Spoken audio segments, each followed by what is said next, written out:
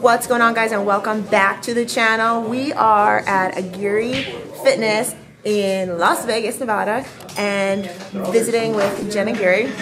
There's a couple videos in my on my channel from last year. We lifted together. It's always fun we lift together and she's going to show me how to properly do glute bridges and see how heavy we can go. So let's get into some heavy glute bridges.